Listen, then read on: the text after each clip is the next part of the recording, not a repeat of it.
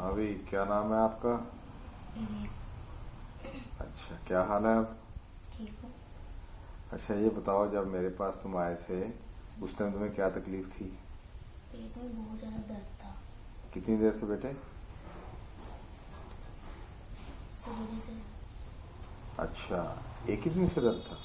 नहीं पीछे पीछे भी काफ़ी टाइम हुआ दो तीन बार ही। अच्छा।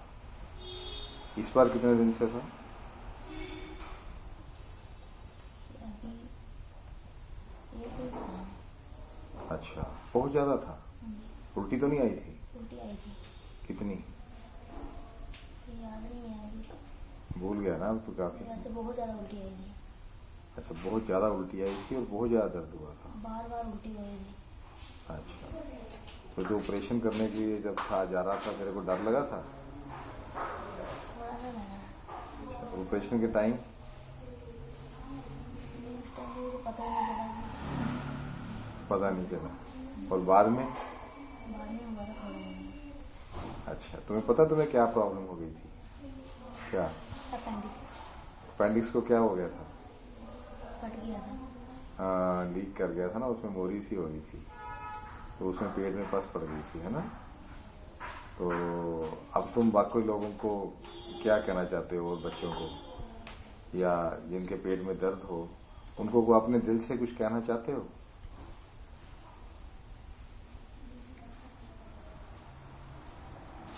जैसे कि तुमने जो तुम्हें एक दो दिन दर्द हुआ पेट में उल्टी आई तो किससे इलाज कराया था? डॉक्टर डॉक्टर साहब हम्म। यानी जल्दी जल्दी इलाज करा लें ताकि बीमारी बढ़े नहीं।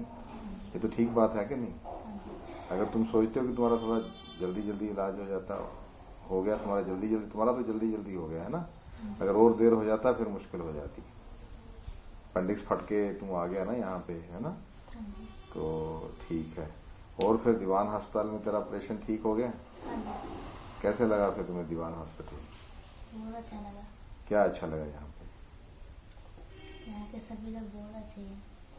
अच्छा ठीक है। मैं अच्छा हूँ कि नहीं डॉक्टर दीवान? है हाँ? हैं? मेरे से डर लगता था? नहीं आपसे नहीं मुझे अच्छा उनसे डर लगता था? क्यों उन्होंने एक बार मुझे पाइप खींची तो बहुत तेज दर्द हो रहा अच्छा। मेरे से बिल्कुल नहीं लगता था। हाँ?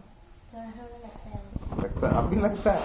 अब नहीं लगता मैं तो बच्चों को बहुत प्यार करता हूँ भाई। हैं? तो ठीक है चलो। अच्छा हुआ भगवान से तुम ठीक हो गया। तो तुम्हारा ये हम भाई साहब डाल दें इसको नेट पे यूट्यूब पे? डाल दें।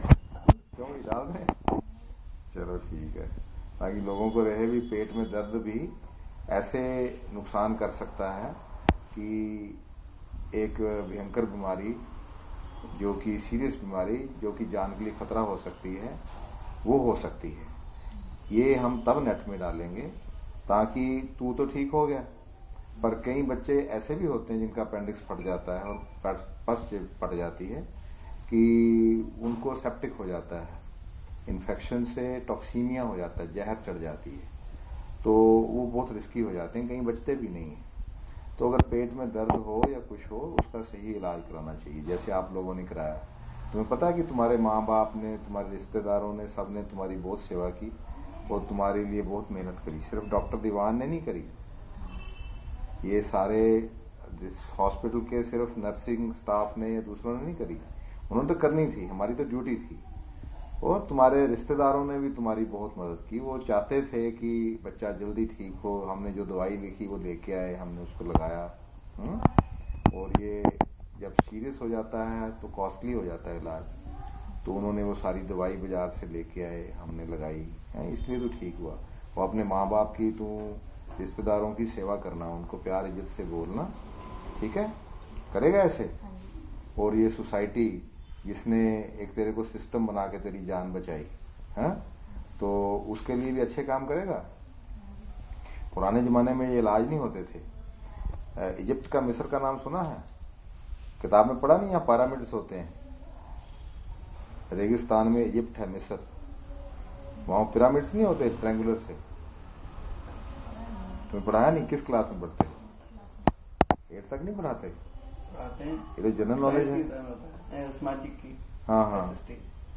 जिसमें मम्मीज निकलती हैं हम्म, पुराने जमाने में डेड बॉडीज होती थी ना उनको प्रिजर्व करते थे वो बाम्स वगैरह लगा के। चलो पढ़ाएँगे। उनमें से एक यंग प्रिंसेस थी उस टाइम उसकी मम्मी मिली। तो उसको उन्होंने देखा भी मम्मी को खोल के देखा भी क्यों मरी थी ये? मरती थी तब उसको वो मम्मी बना के उसमें रखते थे प्रिजर्व करने के लिए। तो उसका अपेंडिक्स फटा हुआ था। तो एक जमाना था, जबकि राजे वगैरह बहुत अमीर लोग भी होते थे, उनका अपेंडिक्स फट जाता था बचते नहीं थे। ये जो साइंस की डेवलपमेंट हुई है जो फैसिलिटीज़ बनी है यहाँ पे, उसके कारण बचते हैं लोग। हम्म? इसलिए आप लोगों ने पढ़ लिख के आगे और काम करना है, कुछ बढ़ाना है। बढ़ाओगे? पक्की बात? प्रॉमिस